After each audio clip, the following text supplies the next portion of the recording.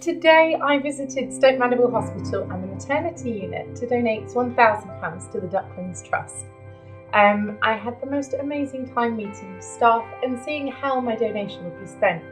Hello, I'm Heidi, consultant midwife at Buckinghamshire Healthcare Trust. The Ducklings Trust is one of our charitable arms that supports the maternity services um, and it enables us to buy extra equipment for our mums and babies that are coming through maternity in addition to those that are ordinarily resourced by the NHS.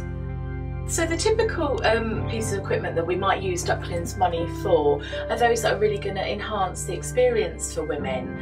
Um, so perhaps more the, the luxuries rather than the necessities, but we think that's really important in order to get the best experience that we can for women, Tracy. Um, so what we're hoping to use your money for today is um, something called telemetry.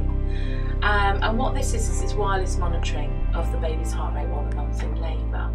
And usually um, women who have a high risk pregnancy are, are, are, somewhat restricted because they have to have their abdomen strapped and babies being listened to all the time. And women have fed back to us that they feel they feel quite restricted in labour. So to try and increase their chance of a more normal birth, telemetry helps us monitor them without them being wired to a machine and women can then go into the birthing pool, they can move around freely in labour, but we can still monitor their baby really, really closely. Um, so for those women that, um, that that's a necessity, it gives us the opportunity to keep them as normal as possible. We have a very um, large population of women that we care for here and a, a, certain degree of those will have high risk pregnancies. So equipment like this helps us make it a much better experience and less medicalised for them really. We provide maternity care for the all of Buckinghamshire and we've got our two sites. We have our standalone birth centre over at Wycombe, which really is a flagship for normal midwifery in the area. We're really lucky actually to have one, um, and it's been a, a, national recommendation that women should have the choice of a standalone birth centre.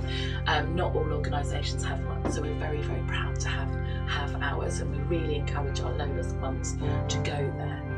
Um, and then we have our co-located birth centre here over at Stoke Mandeville and our main labour ward. And we also offer home births here as well. So women coming here will get four choices of where they can have their baby, providing that their pregnancy is straightforward.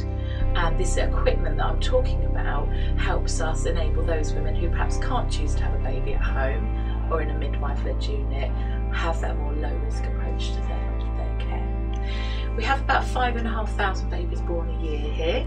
So it's very busy um, midwives, a fantastic team of midwives that work really, really hard to care for all the women that come in.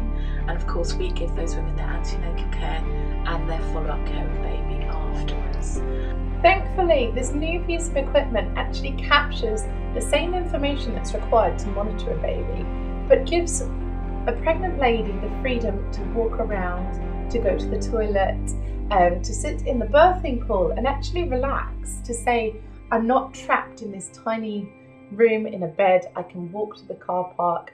I can, you know, I can walk around. I can relax, and I can, you know, feel a little bit more human. It's that kind of homely touch that is lost sometimes in hospitals when you're surrounded by big beeping machinery and everything is so clinical and scary.